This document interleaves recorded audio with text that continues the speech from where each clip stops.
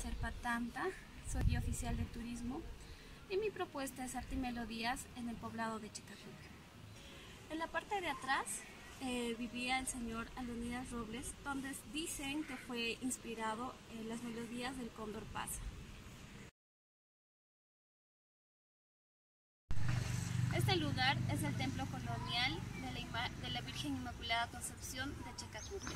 Se encuentra una extensa riqueza artística,